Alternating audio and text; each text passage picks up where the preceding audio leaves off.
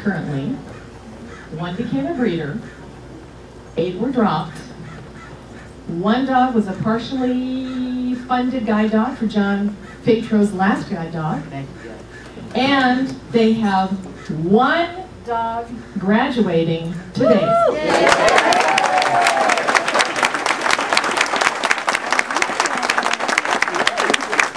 So out of 13, they have one that is graduating, Kayla. So I can guarantee you that that was a lot of whirling and twirling. I go, so I know how hard they work at this dance. But I want you to know that they have raised $37,276. We have uh, graduate Chris Diller with her guide dog Kayla, who was raised by the Prince family, represented today by Debbie. Amanda.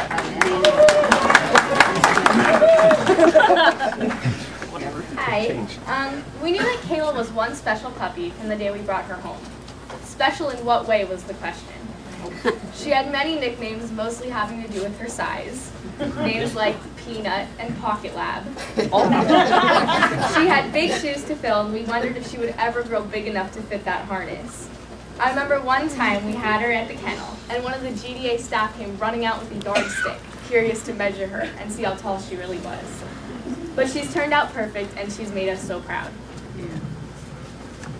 She always had licks and wags for everyone who came her way. In fact, that was our biggest challenge with her. She thought that every person put on earth was here to make friends with her, and every dog put here on earth was to play with her. How would she ever guide someone if she was too busy looking for her next best friend? And we sometimes wondered how her feet stayed on the ground as much as she got that butt and tail fixed. but as she got older, she developed a little dignity and control and learned that she had a big job to do. Kayla was always game for anything we threw her way. She was the four-legged member of our Girl Scout troop and loved to hike, camp, sleep in a tent, or just party with the girls. She was always ready for the next road trip or adventure and loved going anywhere we took her. She accompanied us to many agility trials, too. We could swear she was watching the dogs and thinking, I could blow you guys away if I got out there, but I'm destined for a different path. We want to thank Guide Dogs of America for giving us the opportunity to raise this wonderful puppy.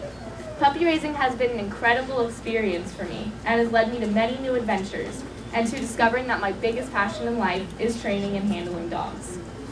We want to thank Simi Valley Boots and Slippers for being Kayla's sponsor. We had great fun on our visits to events. We will miss this girl deeply, but Chris and Kayla are perfect for each other. We know that they will have many years of joy and great adventures together.